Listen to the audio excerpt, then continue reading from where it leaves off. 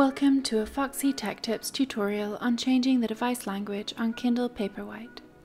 If you find this tutorial helpful, please consider subscribing to my channel and liking the video. From the Kindle homepage, tap the three dots button in the top right.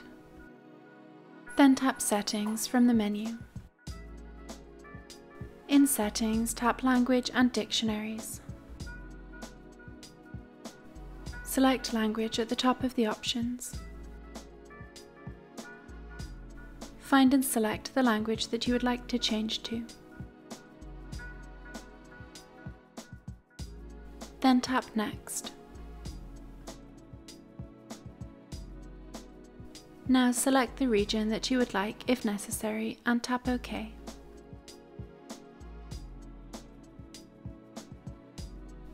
Tap OK on the pop-up.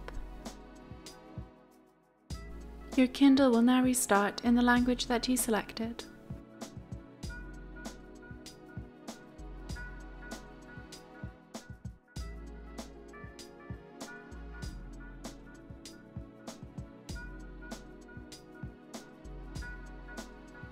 And that draws an end to this tutorial.